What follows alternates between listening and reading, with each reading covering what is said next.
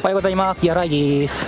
今日はですね、なんと小松基地の航空祭にやってきましたいや朝4時にね駐車場がオープンっていうからね4時少し前にやってきてもね 結局車止めたのが5時回っちゃってねもう6時になろうかなとかなんですけどやっとここが 空港のとこです まあでも8時にオープンらしいんですけどね多分まあ待ち列でいっぱいなんじゃないかな。手荷物検査もあるから8時期間には入れないだろうしな。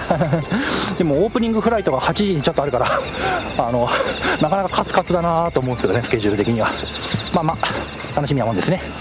航空祭はまあ岩国の方はまあ厳密には航空祭じゃないですけどあれ以来ですね。いやまああの時と比べてまあ駐車場難民にならなくてまあ良かったかな。まあっちは公式の駐車場ないからな。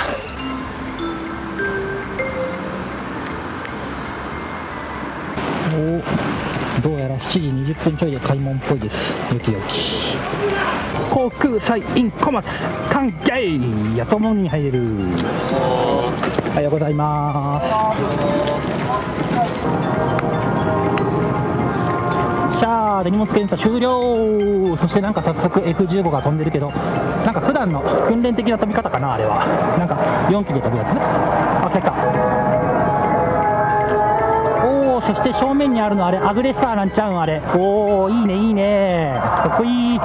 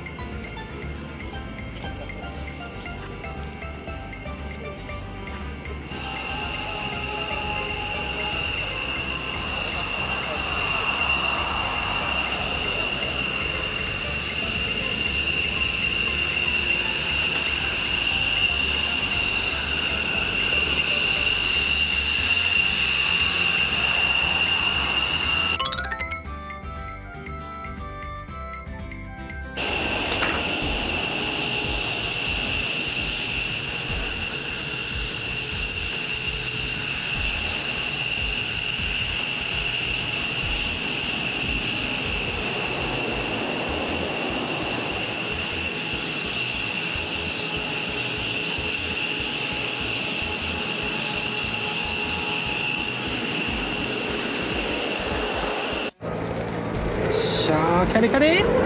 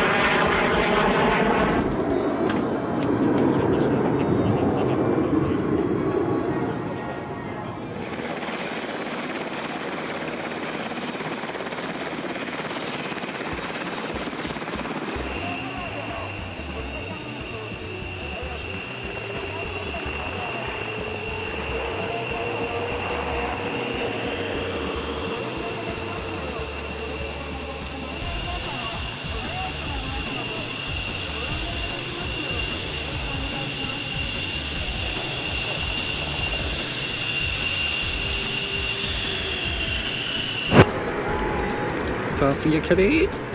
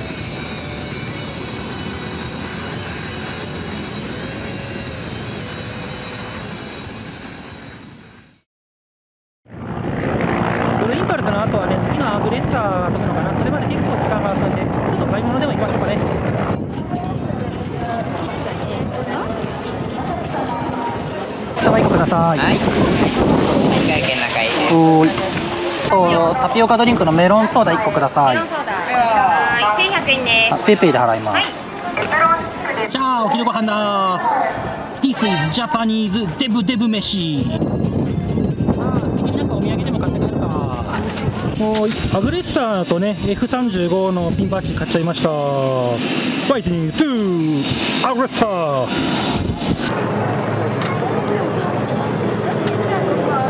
あれショベルカー入れるんだ。えー、おあれ向こうに止まっているの。F35 と2ちょっと行こう。